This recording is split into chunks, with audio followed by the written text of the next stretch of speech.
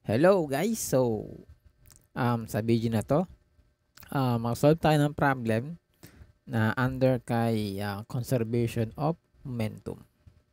Okay? The problem is, okay, mass A moves towards mass B whose mass is uh, twice of that of mass A and initially at rest.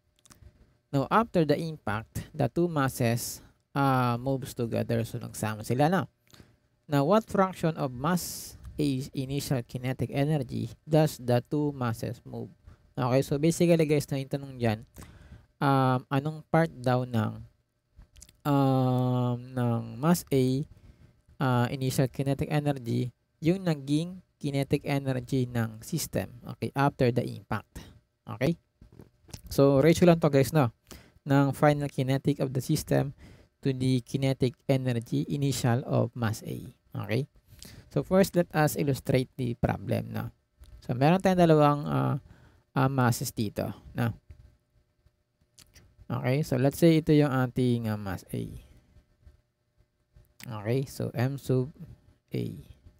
Okay, the velocity of A, let's say uh, uh, it moves to the right. Okay, meron tayong B sub A. And then, since uh, kailangan nila mag uh, magkaroon ng collision, so uh, mass B should be uh, a position no, to the right of mass of A. Okay, so ito yung ating mass of B.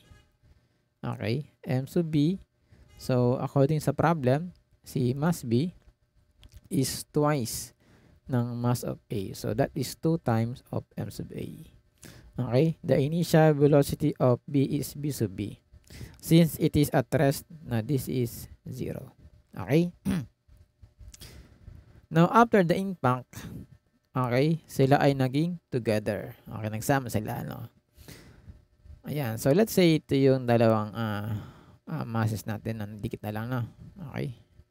Ayan. so, basically, na, okay? So, kung nagsama sila, um, the total mass of the system will be the sum of the uh, masses of A and B now. So that is M sub A okay, plus M sub B. Okay? Kaya lang guys na meron tayong uh, expression for M sub B. Okay, which is 2M sub A. So, ibig sabihin, yung combined mass is 3 times M sub A. Na 3 times ng mass of A. Okay? Then, let's say, um, the combined mass has a velocity of b sub. Okay dito na. Uh, b. Mm, uh, b ano lang ng b com. Yan. Combined velocity. Okay. Um so kung nag-stick together sila guys na imposible naman na um, yung combined system is magmo-move to the left no? Okay walang ganun na kasi nga yung momentum ng A, okay? Um, uh, siya na, papunta sa right. So, ibig sabihin, uh, after the impact, uh, the system will also move to the right now. Okay? To the right. Ayan. Okay. Ayan. Okay, so balikan natin guys na yung required. So, ratio ng um, kinetic energy ng system sa kinetic energy ng mass A, yung kanyang initial. So, kung babalikan natin yung formula ng um, kinetic energy, yung ating KE, di ba guys, is 1 half of mass and then B squared.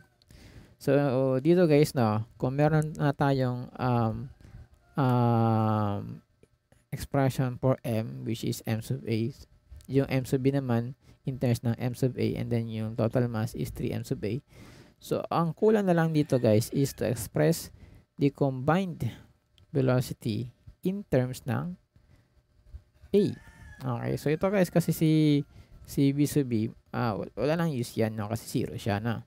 Okay, so yan, ito lang kailangan natin dito guys no. Ma-relate yung b com sa b sub a. Okay? No, paano natin kukunin yon? Okay, so ano yung principle na involved dito? Okay, o, o anong concept kaya? Since meron tayong uh, impact, okay, meron tayong kumbaga meron tayong scenario before and after. Okay? Meron tayong masses and velocity na before and after. Ibig sabihin guys, no, uh, the best uh, way to solve this problem is to use the concept of um, conservation of momentum. Okay? So that is, kailangan guys, no, yung ating uh, momentum, okay, momentum,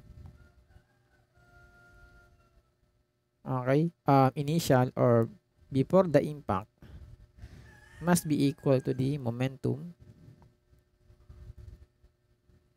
Okay, after the impact. Okay?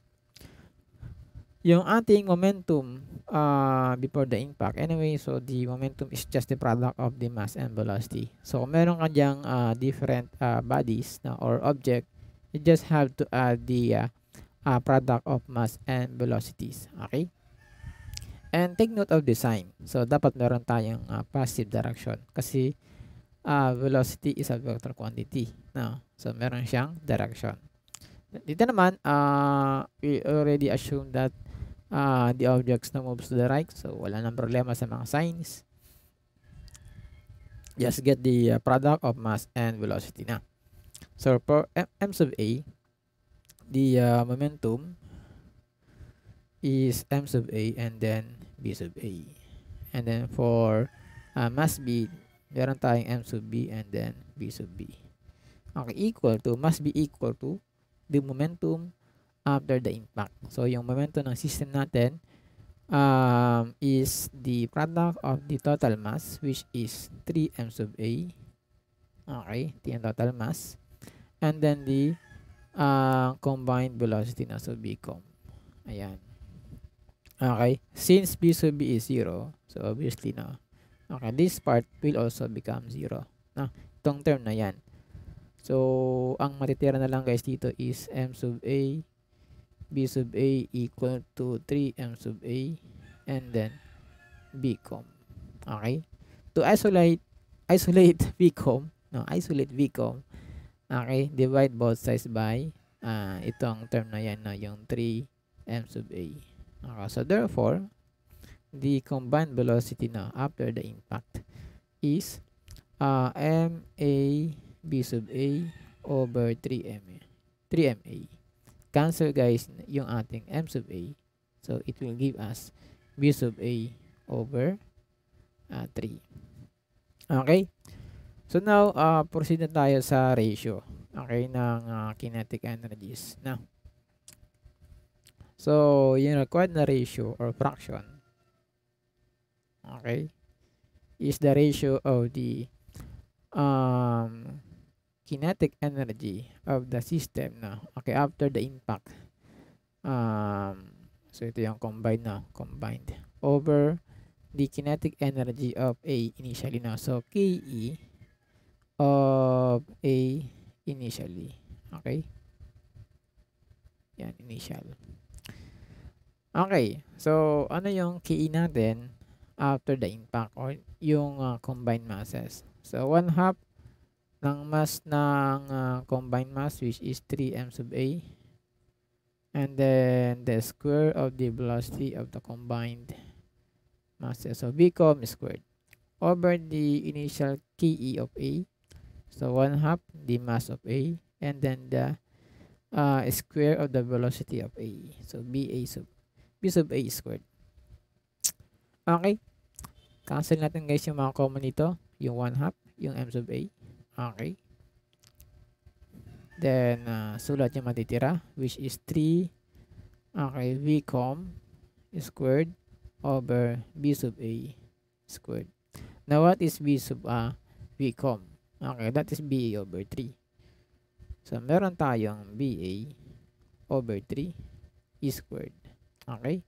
Over b sub a squared. Ayan. So, pag meron tayong product or division, pwede mong distribute yung exponent. Okay, magiging okay ba tayo na? Okay. Um, copy yung 3. Ito, meron tayong b sub a squared over 3 squared is 9 over b sub a squared. So again, cancel yung common which is b sub a squared. Okay? Ang matitira dyan is uh, 3 over 9. Okay? So, simplify 3 over 9 will give us the ratio of 1 third. Yan. So, ibig sabihin guys, now after the impact, the ratio of the kinetic energy, okay, um, I mean, yung fraction ng initial KE ng mass A is, um, yung magiging uh, KE natin is one-third no, ng initial KE na mass A. Ayan. So, the required answer uh, for this uh, problem is, okay, one-third. Ayan. Okay, so I hope meron kayong natutunan sa video na to and see you um, sa ating next video. Ingats.